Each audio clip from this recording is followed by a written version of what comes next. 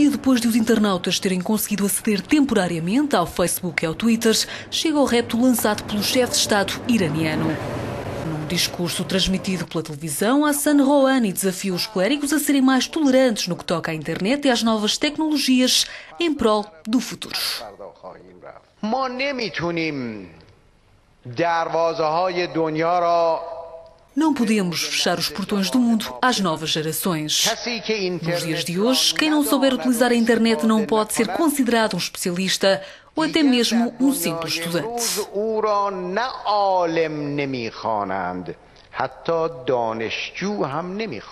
São muitas as restrições impostas no Irão. As mulheres estão, por exemplo, proibidas de dançar em públicos. Os iranianos, homens e mulheres detidos por terem participado no vídeo de Pharrell Williams, acabaram por ser libertados graças à pressão exercida pelo chefe de Estado.